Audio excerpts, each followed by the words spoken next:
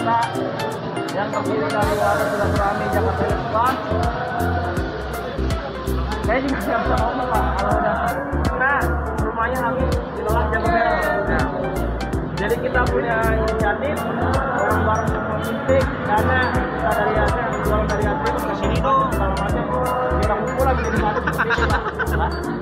nggak ada maksud dan tujuan apa-apa.